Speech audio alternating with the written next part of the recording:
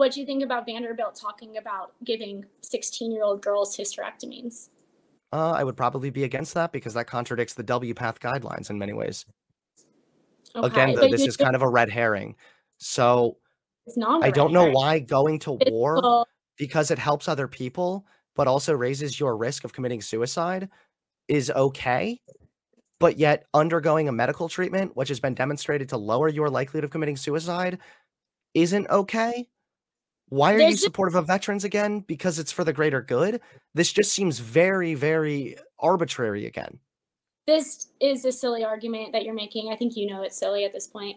Uh, if you but- think it's silly, then you also have to concede that your argument as far as trans people committing suicide is also silly.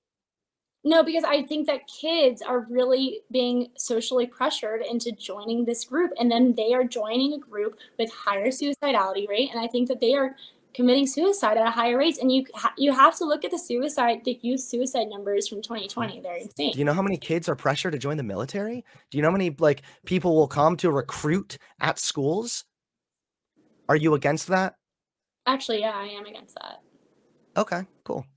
Well, at least yeah, there's some consistency. I, I, really, I can appreciate that. Like, I don't like um, recruiters at all, military recruiters. Anyone in the military doesn't like military recruiters. Okay.